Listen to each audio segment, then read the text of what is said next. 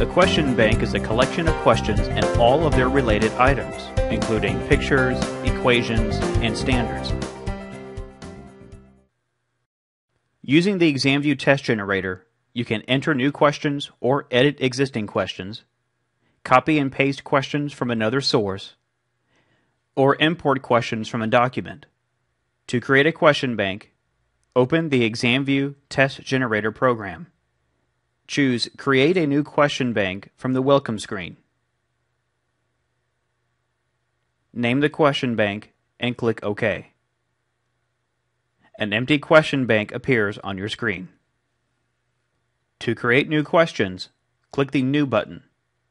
A new question window will open. For this example, I'll choose the multiple choice question type, then click OK. The question editor window will appear. There are different options to change the answer stem. The answer option allows you to choose the correct answer. The scramble option lets you scramble questions within a lesson. The choices option allows you to define the number of answer options. The columns option allows you to specify how many columns the question options will be divided into. Enter the question stem and answer stems into the assigned areas.